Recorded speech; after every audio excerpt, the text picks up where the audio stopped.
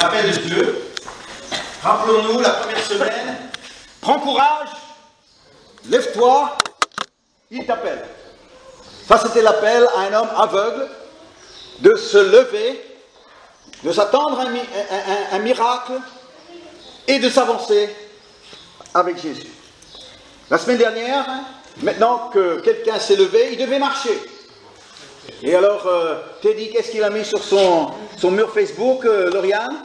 Qu'est-ce qu'il a mis, Teddy Il a mis euh, lève-toi, L'informaticien. lève-toi, prends ton lit et marche. Et Il a il mis a un sur long Facebook. commentaire de- d'explication sur Un long commentaire d'explication sur lève-toi, prends ton lit et marche. Ça, c'était dimanche dernier.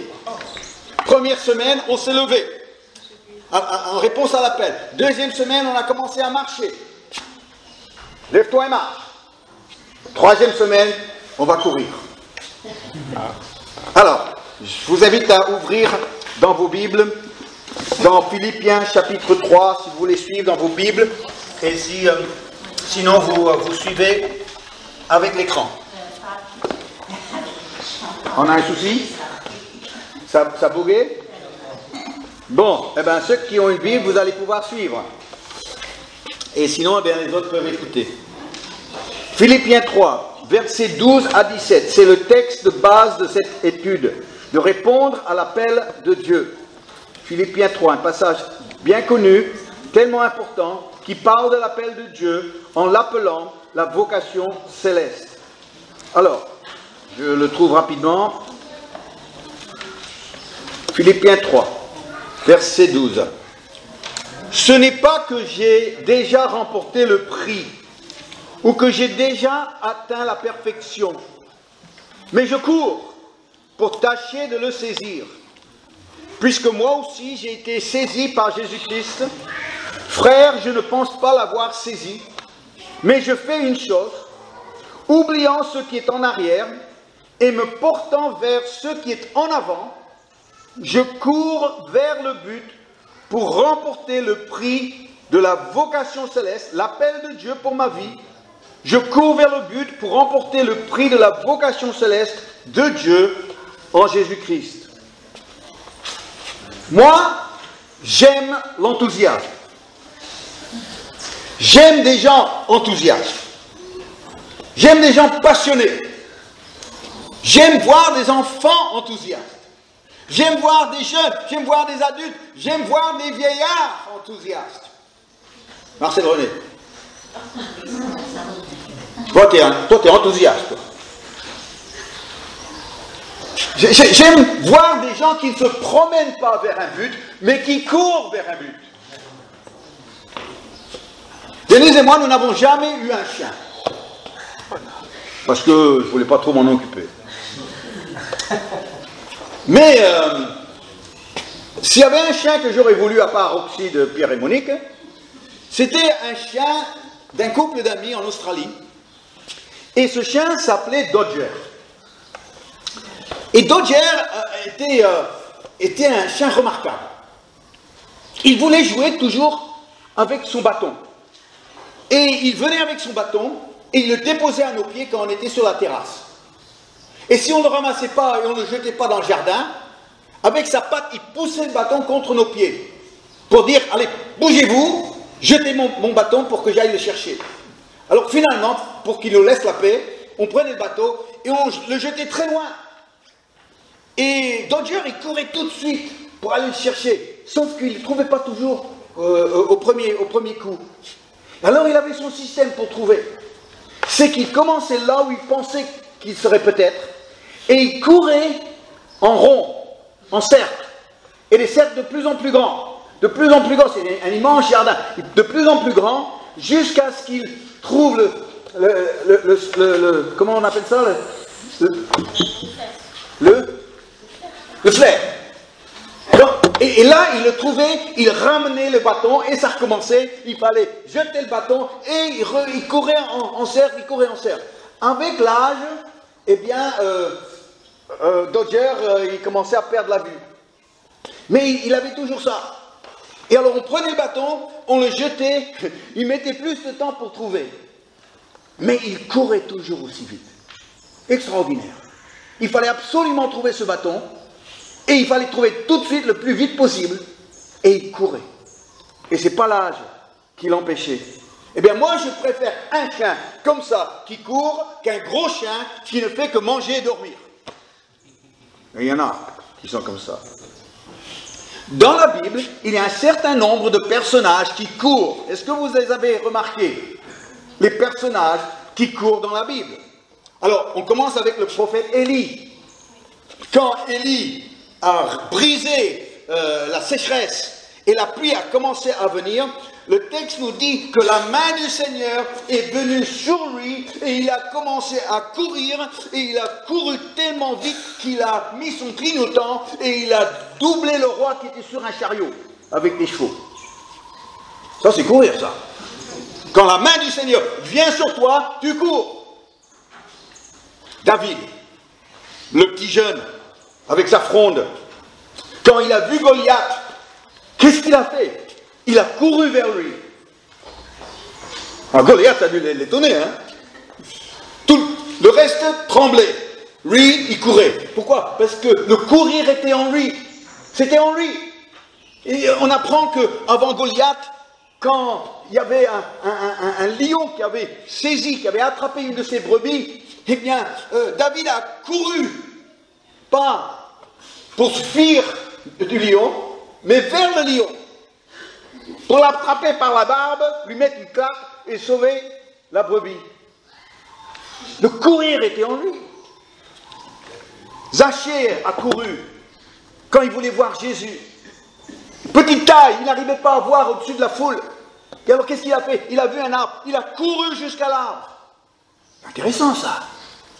Quelqu'un qui court montre qu'il y a quelqu'un qui, a quelque chose que les autres n'ont pas. Marie, Madeleine, qui a découvert le jour de la résurrection de Jésus, que Jésus était ressuscité. Et qu'est-ce qu'elle a fait quand elle a appris ça? Elle a couru l'annoncer aux disciples. Elle n'a pas, pas marché, elle a couru. Pourquoi? Parce que c'était une bonne nouvelle qui demandait quelqu'un courir et pas marcher. Et depuis Marie-Madeleine, eh bien, les évangélistes du monde entier courent dans le monde entier pour annoncer cette même bonne nouvelle. Et Pierre et Jean, quand ils ont entendu cette bonne nouvelle, qu'est-ce qu'ils ont fait? Eh bien, ils ont fait une course à pied entre les deux. Et c'est Jean qui a gagné. Pierre était un peu plus lourd. Mais ils ont couru jusqu'à la tombe. Ils n'ont pas dit Ah, tiens, c'est intéressant, on va aller faire un petit tour pour voir euh, ce qu'ils nous racontent là. Ah, pas du tout. Ah non, non, ça, c'était pas leur réaction.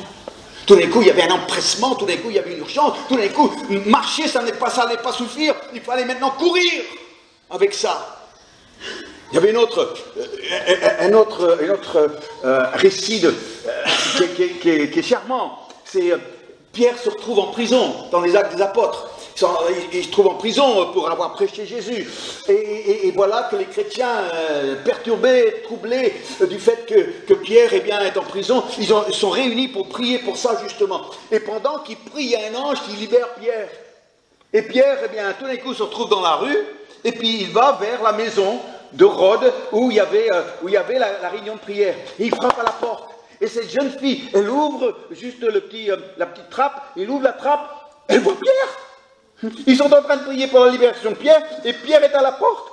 Oh, et toute contente, elle court dans la salle de prière, laissant Pierre à l'extérieur. Quand on court, il faut réfléchir aussi. Hein. Oui, mais ça c'est, charmant, ça, cette histoire. Elle, oublie Pierre à la porte en courant avec les bonnes nouvelles. Mais celle que j'apprécie le plus, de tous ceux qui courent dans la Bible, c'est le père du fils prodigue. Ah, ça. Ça, c'est le père du fils prodigue. Quand il n'a pas couru après le fils quand il est parti, il l'a laissé partir. Mais quand il a vu le fils revenir, eh bien, il l'a vu de loin. Il a commencé à courir vers lui. Et quand j'ai vu ça, j'ai dit, Dieu, c'est un Dieu qui court. Dieu, c'est un Dieu qui court vers nous. Tellement qu'il est heureux, j'ai du mal à imaginer. Moi, j'imagine un Dieu sur un trône, gloire, puissance. Et ici, j'ai du mal à imaginer un Dieu qui, court. Et pourtant, c'est Jésus qui nous annonce que le courir est en lui aussi. Le courir est en lui. Et ensuite, il y a Paul, il y a Paul qui, qui court, qui court après un prix, qui court dans Philippiens chapitre 3, qui, euh, qui court dans verset 12, il court encore au verset 14, il court, il court, il court, il court. Vous savez, euh, Paul aimait bien les sports et il écrivait à des gens qui aimaient les sports. Euh, les Corinthiens, dans 1 Corinthiens chapitre 9, là aussi nous apprenons, euh, Paul va nous parler de courir. Et c'est dommage qu'on ne peut pas le montrer, mais c'est 1 Corinthiens 9, versets 24 à 26. Je vais vous le lire. 1 Corinthiens 9, 24 à 26. Ne savez-vous pas que ceux qui courent dans le stade, courent tous, mais qu'un seul remporte le prix. Le prix, il parle des, Jeux olympiques là. Euh, courez de manière à le remporter. Tous ceux qui, qui combattent s'imposent toute espèce d'abstinence, et ils le font pour obtenir une couronne corruptible. Mais nous, faisons-le pour une couronne incorruptible. Moi donc, je cours, non pas comme à l'aventure. Je cours, je frappe, non pas comme battant l'air je cours.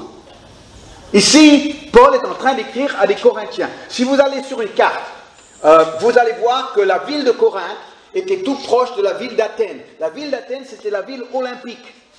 Et il avait la rivalité entre les deux villes au niveau même des sports. Et Corinthe avait euh, son, ses Jeux olympiques aussi. Ils avaient ses Jeux. Et le Corinthien était très axé sur le sport. Toute la, population était passionnée de ça. Et alors Paul est en train de leur parler leur langue. Il parle avec, avec des mots que eux ils comprennent. Courez de manière à remporter le prix. Il comprenait prix, il comprenait course, il comprenait stade, il comprenait courir.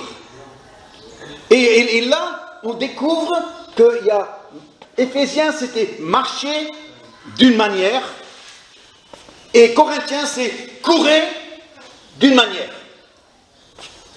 Éphésiens 4, 1, c'est marcher d'une manière digne de la vocation. Ça nous parle de notre vie personnelle. Ça veut dire, tu vis quoi? Tu vis comment? Tu marches d'une façon digne de son appel, de sa vocation. Ça veut dire, qu'est-ce que tu fais quand personne ne te voit? Comment tu es quand les gens sont désagréables avec toi Comment tu es lundi matin Samedi soir Comment tu es Est-ce que tu es quelqu'un d'honnête Est-ce que tu es quelqu'un de joyeux Est-ce que tu es quelqu'un euh, qui pense aux autres Est-ce que tu es quelqu'un qui, euh, euh, qui s'inquiète pour les guêpes Cette guêpe-là, elle, vient, elle, veut faire son étude biblique aussi. Hein. Et donc, la personne que tu es, ton témoignage, ça c'est marcher. Mais ici, il dit, courez de manière à l'emporter. Ça, c'est pas marcher. Ça, c'est notre service pour Christ.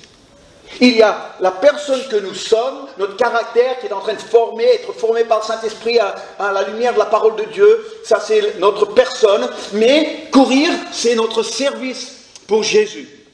Courez de manière à remporter le prix. Combien de chrétiens ne courent pas pour la simple raison qu'ils n'ont pas de but vers lequel courir? Quel est ton but? Ah ben, je sais pas. Eh bien, si tu n'as pas de but, tu ne courras pas. Parce que courir, c'est le but qui provoque la course. S'il n'y a pas de but, tu cours pas, tu, tu te promènes. Tu te promènes. Alors, que signifie vraiment courir vers un but? Tu sais, les, mots quand même dans la Bible sont, sont très imagés, très imagés. Euh, la, dernière fois, quand j'ai parlé de ce passage, eh bien, je vous ai parlé du mot saisir dans Philippiens chapitre 3. Et ce mot saisir, je l'ai, je, l'ai expliqué avec l'image du rugby. C'est un plaquage au rugby. C'est, saisir quelqu'un qui a le ballon. C'est, lui sauter dessus, comme ça. Euh, ce mot saisir, c'est quelque chose qui est violent, qui est fort. Et on, doit saisir, euh, comme j'ai été saisi moi, je dois saisir, je cours pour tâcher de le saisir, le prix. Saisir. Mais ici, il y a un, autre mot, c'est le mot courir. Et, le mot courir, eh bien, a le sens qu'on retrouve dans 1 Corinthiens 9, 24. Il nous parle de se précipiter au combat de faire une percée, de percer une défense. Et là aussi, moi, moi j'ai moi, j'ai aimé jouer au rugby quand j'étais jeune. Ah, j'aimais. Le rugby, c'est le rugby, c'est vraiment un, jeu intéressant, beaucoup plus intéressant que le foot. Ça, je peux vous le dire tout de suite. Oui, euh, au, foot, on fait semblant qu'on est blessé quand on ne l'est pas. Au rugby, on fait semblant qu'on n'est pas blessé quand on l'est. Bon, vous pouvez réfléchir sur ça, c'est toute une leçon, mais. Et, le rugby, eh bien, euh, je, l'ai joué, c'est magnifique. La ligne de défense des adversaires est là, et puis tu as, le ballon, et puis le but c'est de percer cette défense, le but c'est de percuter. Et alors le gars il court avec le ballon, et puis il s'enfonce dans la défense, et la défense se ferme autour de lui. Et pendant qu'elle se ferme autour de lui, il passe la balle à un autre, et l'autre le prend. Et maintenant la brèche est faite, et il court jusqu'à la ligne, et, fait l'essai. Waouh Ah, c'est un spectacle, c'est magnifique, c'est de la poésie. C'est sublime. Oh. oh. Surtout quand l'Australie gagne. Alors là, c'est beau. Aïe, aïe, aïe. Oh, ça, c'est un sport. Et 1 Corinthiens 9, eh bien, il utilise ce mot, euh, faire une percée. Euh, percer une défense, précipiter au combat. Et l'image, c'est qu'il y a une ligne de défense de, l'adversaire devant nous. Il y a les obstacles, les problèmes, les oppositions, l'incrédulité, et, puis euh, l'orgueil, le matérialisme, les gens méchants. Tout est là, tout est là. La défense est là. Et puis, et, là, euh, tu, prends le ballon, et puis tu cours vers la défense de l'ennemi, tu t'enfonces dans la défense, elle se ferme autour de toi, tu passes la balle à quelqu'un de ton équipe qui va et qui marque l'essai. Et c'est comme ça qu'on voit l'œuvre de Dieu gagner. Alléluia. C'est un travail d'équipe. Je cours vers les lignes défensives s'il y a une chose que j'ai fait pendant 40 ans, c'est j'ai couru vers cette ligne défensive.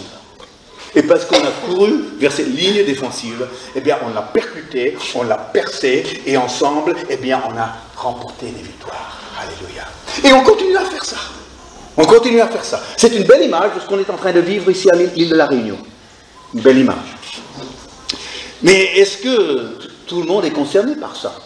Ou bien est-ce que c'est seulement quelques personnes, comme l'apôtre Paul dit oui, Paul il court vers un prix, c'est l'apôtre Paul. Mais nous, moi je ne suis pas l'apôtre Paul, alors il euh, ne faut pas nous mettre ça dessus.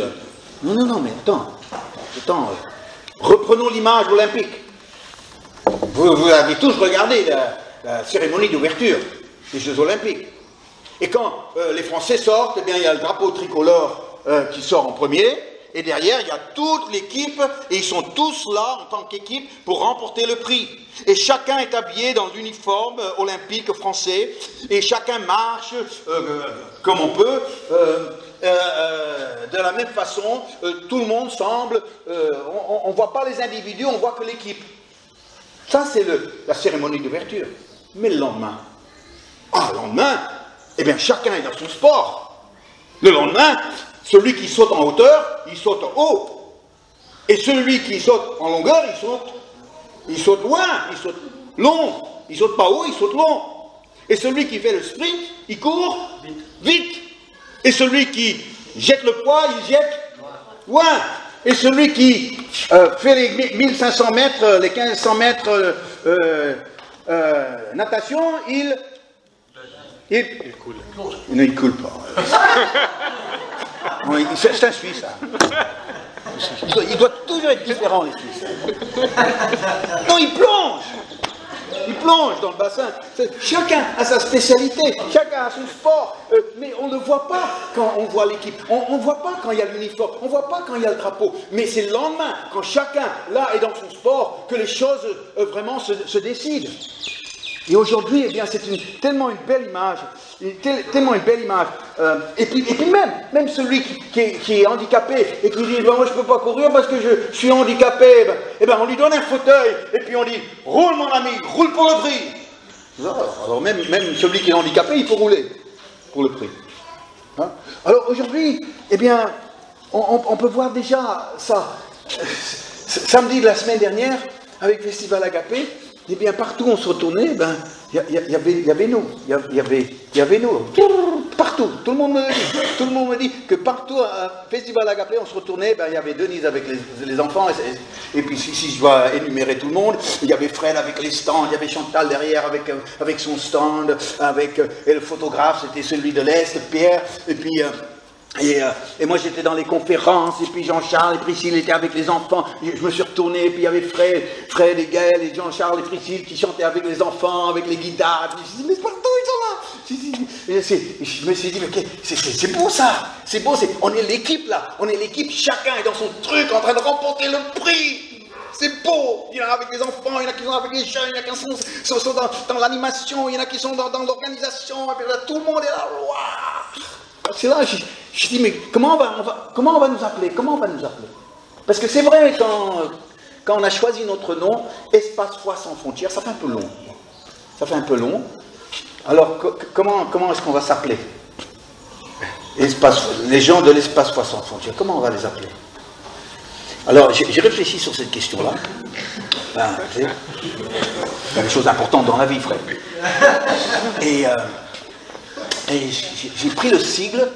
Le sigle, c'est pas simple non plus. E EFSF. Dites, dites ça rapidement, allez-y. E EFSF. EFSF. EFSF. C'est pas facile, hein, pas. Alors, tout d'un coup, j'ai dit, je sais, je sais ce qu'on est, nous. On est les Éphésiens. C'est pas mal, ça. hein. EFSF. Les Éphésiens. Ouais, c'est vrai. Bon, ça, c'est la parenthèse, ça c'était pour. Ça c'était gratuit. J'ai mis ça gratuitement. Mais, euh, mais c'est. De, toute façon, peu importe le nom, peu importe ce qu'on s'appelle, l'important c'est que on est une équipe, c'est vrai, mais que chacun est dans son sport. Chacun est là en train de se battre, chacun est là en train de, de- de remporter le prix, là où il est, là où il est appelé, là où il a des compétences, là où il peut se donner. Et puis ensemble, eh bien, on a tous le même uniforme. C'est vrai, c'est l'uniforme que Dieu nous a donné.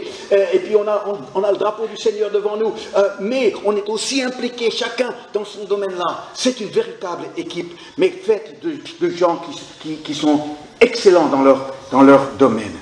Alléluia. Paul est, est un acharné. Paul a toujours été un acharné. Dans Philippiens euh, 3, il y a les deux passages ce matin. Il y a Philippiens 3 et il y a 1 Corinthiens 9. Et le mot grec qu'il utilise euh, en Philippiens 3, c'est pas le même mot que dans 1 Corinthiens 9. Tous les deux sont traduits courir, mais le mot en, en Philippiens 3, eh bien, c'est encore plus fort que percuter une défense. C'est plus fort encore euh, que, ce mot dans, dans Corin- 1 Corinthiens 9. Le mot que Paul utilise pour dire courir après le but, c'est le mot qui est traduit dans d'autres passages, le mot persécuter. Il persécute le prix. Il accepte, il s'acharne pour posséder ce prix-là. Il y a une notion de détermination. Il y a une notion de, de, de- de- je ne m'arrête pas jusqu'à je la possède. Il y a une notion de, de- de- de- de- d'empressement. C'est comme si il n'y a que ça qui compte. Il ne pense qu'à ça. Euh, il n'y a rien d'autre qui compte. Oh là là là là, il faut absolument que je prenne ça. C'est une notion de persécution, harcèlement. Ça, c'est le sens négatif. Mais le sens positif, c'est que je suis totalement focalisé. Totalement focalisé. Eh bien, moi, j'aimerais vous dire, chers amis, que notre Église est un peu comme ça. On est totalement focalisé. On n'est pas, on pas là pour, pour s'amuser. On est là parce qu'il y a une mission. On est là parce qu'il y a un défi à relever. On est là parce qu'il y a encore quelqu'un à sauver. On est là parce que l'île de la Réunion a besoin d'une nouvelle visitation de Dieu, j'en suis convaincu. Euh, de la Réunion a besoin de- d'une lumière qui brille de nouveau. Et, si c'est pas nous, ce sera qui? Si c'est pas nous. Et ça, c'est pas quelque chose qui va se faire à la légère, parce que si on ne- n'est pas déterminé dans ce sens-là, si on n'est pas focalisé dans ce sens-là, eh bien, on deviendra, euh, comme beaucoup sont devenus, un peu des chrétiens médiocres du dimanche matin, euh, qui vont simplement à leur culte, et puis pour le reste de la semaine, ben, ben, c'est- normal, c'est comme tous les autres qui sont même pas chrétiens. Et je dis, non, Seigneur, c'est pas possible ça. Parce qu'aujourd'hui, il y a un appel. Il y a une course, il y a un prix, il y a une manière de courir. Il n'y en a pas 36. Et chaque fois, eh bien, c'est le Seigneur qui nous appelle à ça.